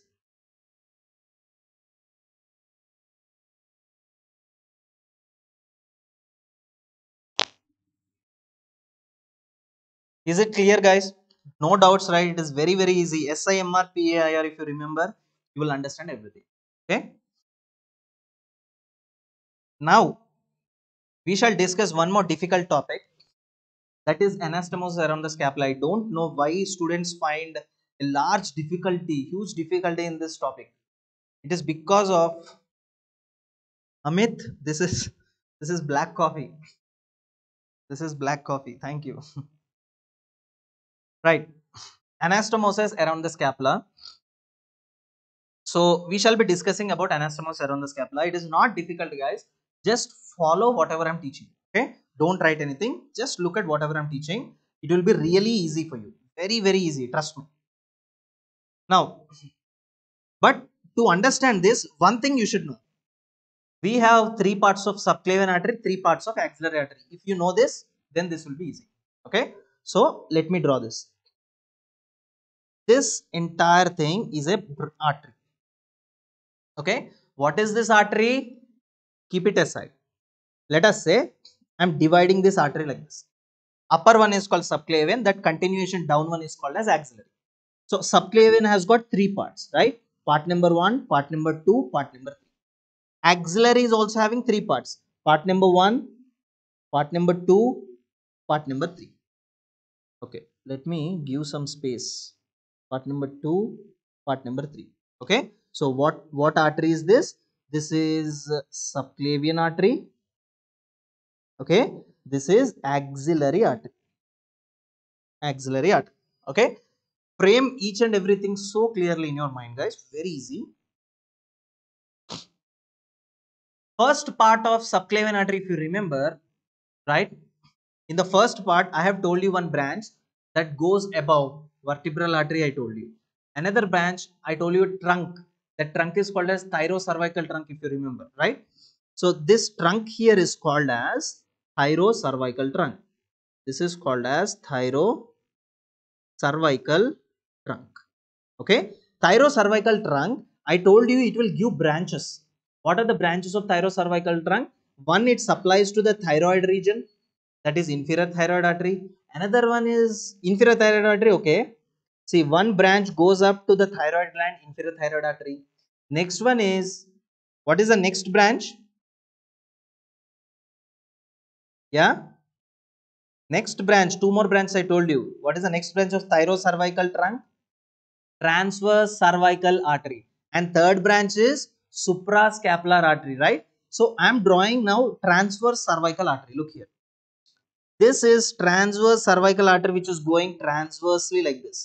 It is going transversely like this. Okay? So this artery this artery is called as so let let let it be deep branch of transverse cervical artery. Cervical artery right? So this was the thing we discussed right? The deep branch of transverse cervical artery. Next artery of uh, this uh, thyrocervical trunk which we discussed was suprascapular i told you it passes on to the top of the scapula. Look here. This is a suprascapular artery. Okay? This is what? Suprascapular artery. So let me write it down. This is your suprascapular artery. Suprascapular artery. Clear? Now forget it. Let us go on to the axillary artery.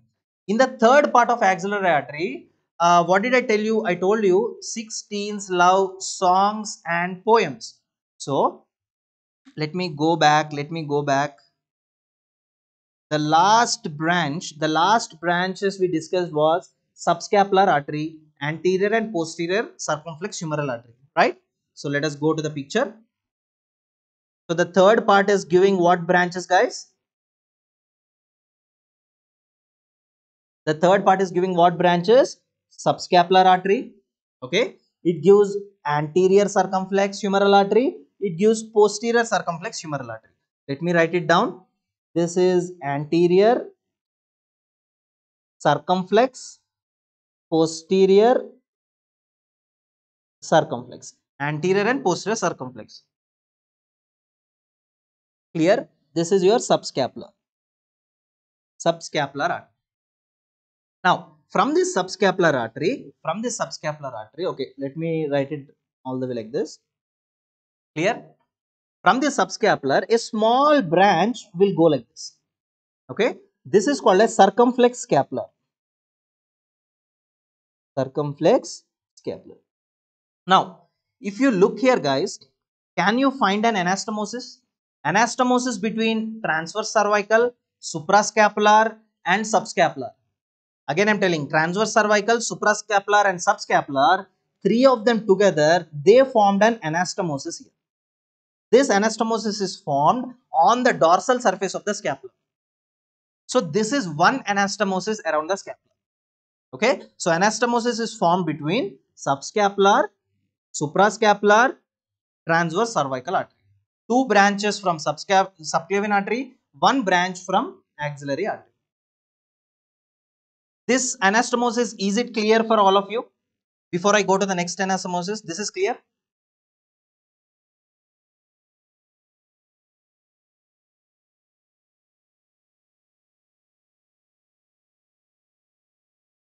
Very good. Nice. Next important thing is that from the second part, from the second part, I told you that we have got one branch. From the second part of axillary artery, we have got a branch like this.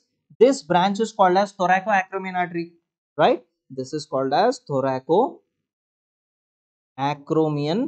artery thoracoacromial artery thoracoacromial artery. What will it does? Acromion is there. It means it will give a branch to the acromion process. So what does it do is that it will give a branch to the acromion process like this. Not only that even suprascapular artery also will give one branch to the acromion process like this. Not only that even the posterior circumflex humeral artery also will give a branch to the acromion process like this. So this is called as acromion branch of posterior circumflex artery, acromion branch of thoracoacromial artery, acromion branch of scapular artery, uh, suprascapular artery. Okay, what are these branches? Acromion branches. Acromion branches. Okay, now all these acromion branches on the acromion process of scapula are also forming one more anastomosis. So we are done with the anastomosis of the scapula. These are the two anastomoses. Have you understood?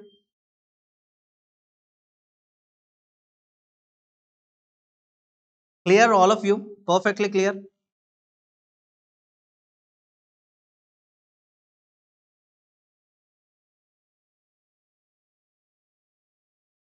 No doubt, right? Shall we start the branches now? Because we from here we started. We have started with the subclavian artery, we are done. We have started with the axillary artery, done we have started with the branches of the brachial artery, radial and ulnar, we are done. Now we shall discuss the branches here and we shall close the topic. Are you all ready guys?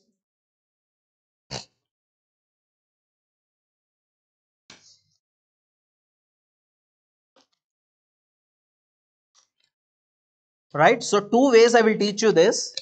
I will just teach you now on the hand and after that I will write it down later on and I will send it to you. Okay, I'll teach you here on the hand and I'll close the session. After that, after that, I will, uh, what I'll do is that I will write it here in the night and in the morning I'll send it to you. Clear?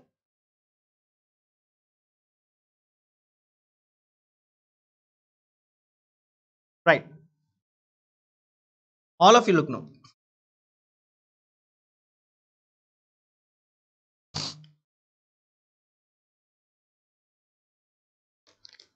all of you pay attention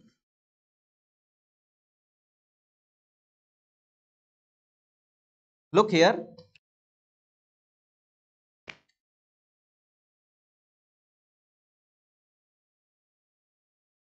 We have got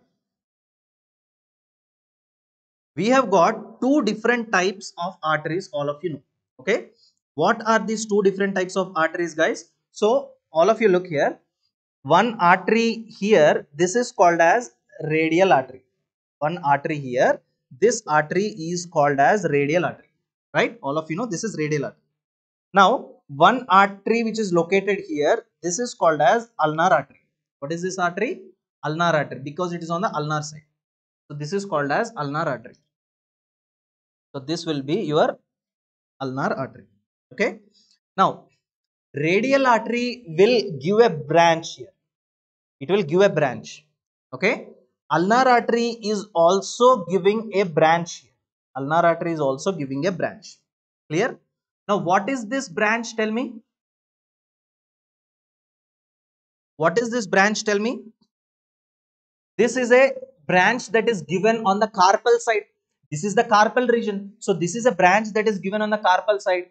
And carpal side on the palmar region or on the dorsal region? On the palmar region. So can I call it as palmar carpal branch of radial artery? I want all of you to write down just the uh, just these things. I mean just the words which I'm telling you. This is called palmar carpal branch of radial artery. This is called palmar carpal branch of ulnar artery. So palmar carpal branch of radial and ulnar artery, both of them have formed an anastomosis here. This is called as palmar carpal anastomosis okay palmar carpal anastomosis you are clear now this radial artery will go on to the back okay? This radial artery will go on to the back like this. It will go on to the back. Let us forget about the radial artery. This radial artery has gone on to the back. Let us forget about this. Now another important thing you need to know is that this ulnar artery will come will enter all the way right? This will go all the way like this. It will enter into the palmar region and this ulnar artery is making a U-turn and it will stop here. This is an ulnar artery which is going all the way and it is stopping here. Okay. Now this ulnar artery, look here very carefully. This ulnar artery will give a branch in between the two fingers. So it is giving a branch in between two fingers like this. It is giving a second branch in between two fingers. It is giving a third branch in between two fingers. Okay. Now this branch supplies to your digits. So this is a branch which is common for both the digits. So this is called as common digital artery. But it is on the palmar side. So you called as common palmar digital artery. What is that? Common palmar digital artery. So look, this supplies to your index finger and it gives another branch to your middle finger. Here also, it gives a branch to your middle finger, it gives a branch to your ring finger. Clear? Here also, it will give a branch to your ring finger, it will give a branch to your little finger. Okay? So, what are these, these branches? These branches are called as common palmar digital artery 1, common palmar digital artery number 2, common palmar digital artery number 3. Okay? And there is last palmar digital artery. Why did I call this as palmar digital artery? Because it is giving only one branch. It is not dividing. It is not common. It is common only for one artery, one branch. So it is called as just digital artery, palmar digital artery. Till here everyone is clear? Yeah? Till here, before I proceed on to the back, is everyone clear till here?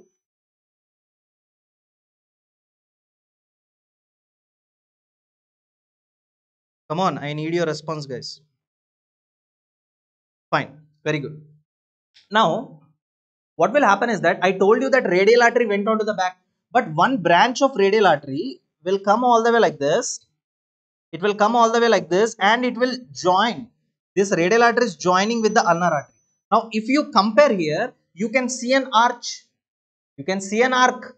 Now, this arc is formed by 80% of ulnar artery, only 20% of your radial artery. So, this arc is so superficial and you call it as superficial palmar arch. Yesterday, when I was teaching you the spaces of the hand, there also I have told you superficial palmar arch. I will teach you tomorrow. I told you, right? So, this is a superficial palmar arch. Okay. Superficial palmar arch is formed by 80% of the ulnar artery, 20% of the radial artery. Okay. Now, let us leave this discussion here. Now, what I'll be doing is that let us go on to the back. Now, on the back side, on the back side, if you can see, this radial artery comes all the way like this. Okay. Now, after coming, this radial artery will give one branch onto the dorsal side. So, can I call it as this is the first branch on the dorsal side of my hand, right? So, can I call it as first dorsal metacarpal artery because it is the first branch, right? So, this, this is the branch here. This branch is called as first dorsal metacarpal artery. In Latin, you call it as princeps metacarpal artery. Are you all clear? Are you all clear? So this is called as princeps meta. Princeps means first. Princeps metacarpal artery or first dorsal metacarpal on the dorsal side.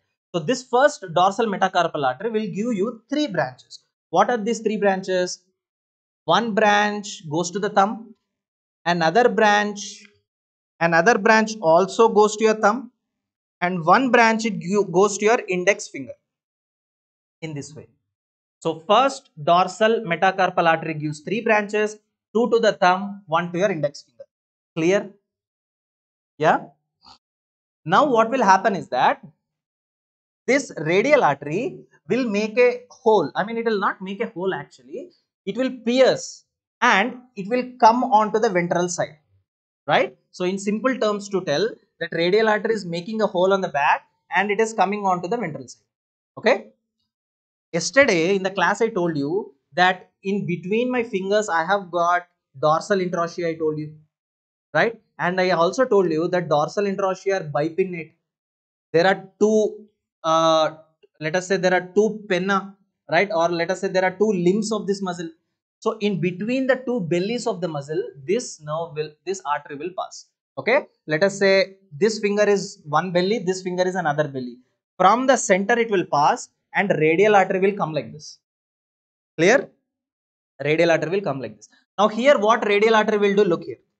Radial artery it will it will go all the way like this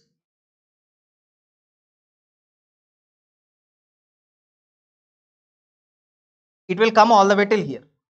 Okay? Radial artery is also trying to make an arch. Yes or no? Now look here. This radial artery will give some branches. What are these branches?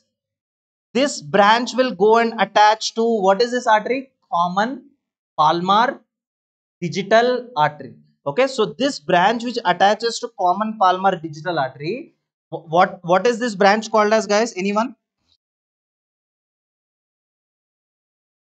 yeah? This branch is called as common metacarpal artery. Why are you calling it as metacarpal? Why are you calling it as common? Because it is attaching to common digital artery. Why are you calling it as metacarpal? Because the artery is located on the first on the second metacarpal. Next there is second branch here.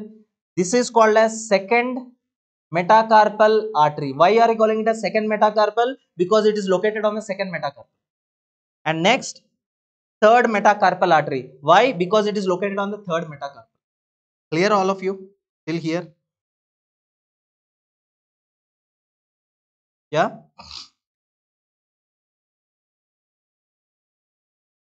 All of you guys?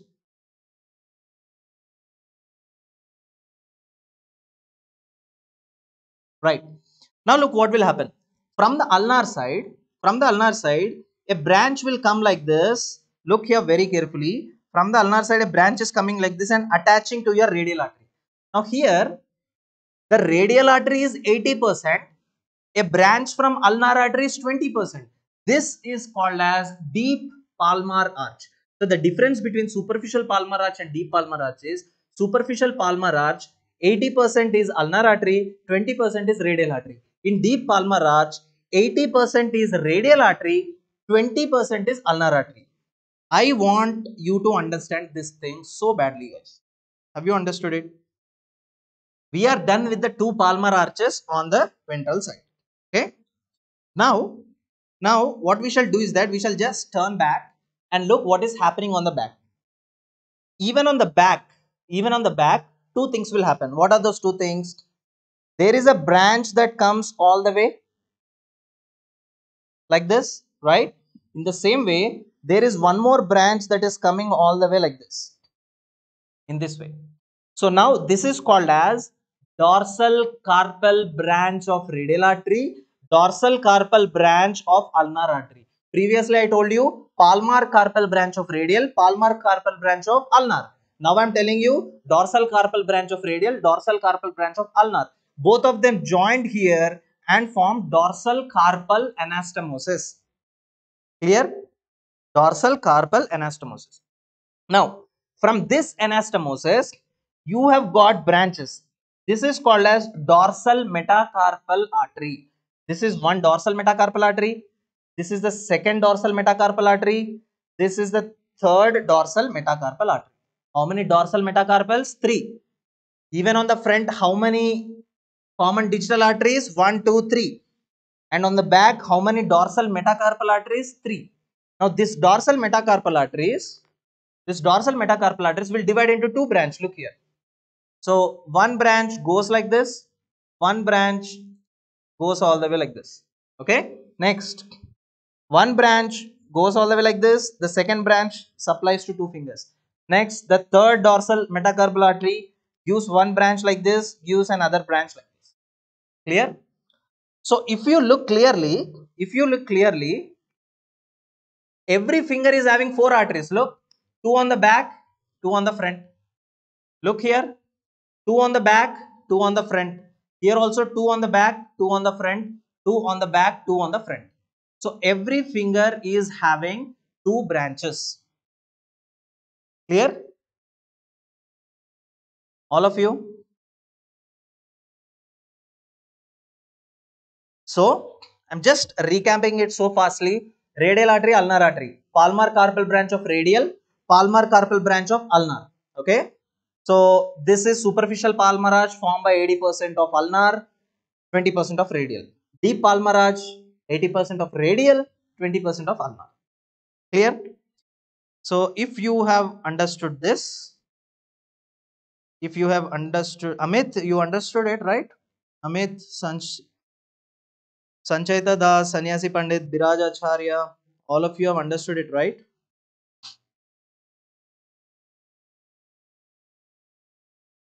Clear? Right. So this is all the arterial system. I will write this tonight and then I'll send it to you in the morning, guys. Okay. So I hope you understood whatever I've taught you today. Have you all understood all the topics which I've taught you today, guys?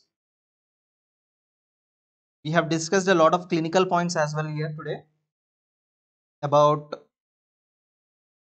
anhidrosis and all about i mean the bernard syndrome and all klumpke's and all of these things. And yeah this is how the claw hand looks right? So i did not show you the picture of claw hand right? So this is how the claw hand looks. Okay? This is how the claw hand looks clear guys? So how was how was the class today guys? Have you all enjoyed? Was it worthy? Yeah?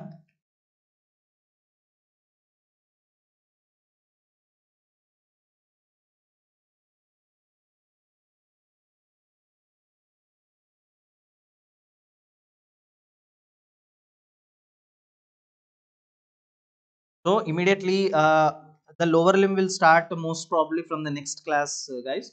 Next class we shall start lower limb. Okay.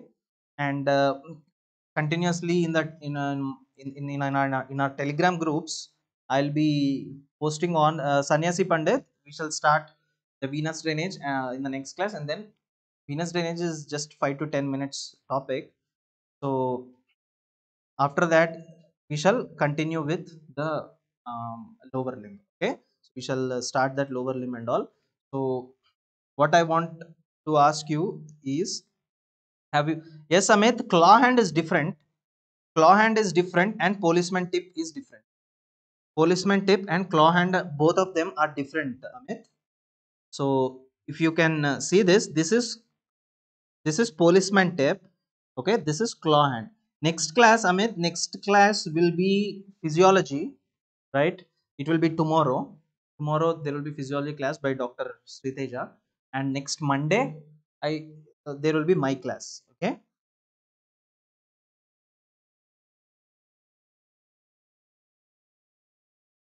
Okay okay guys. So if you have any doubts you can ask in the telegram group right? Anyways i'll be sending in the notes. So thank you so much for all your patience. Thank you so much. And goodbye and good night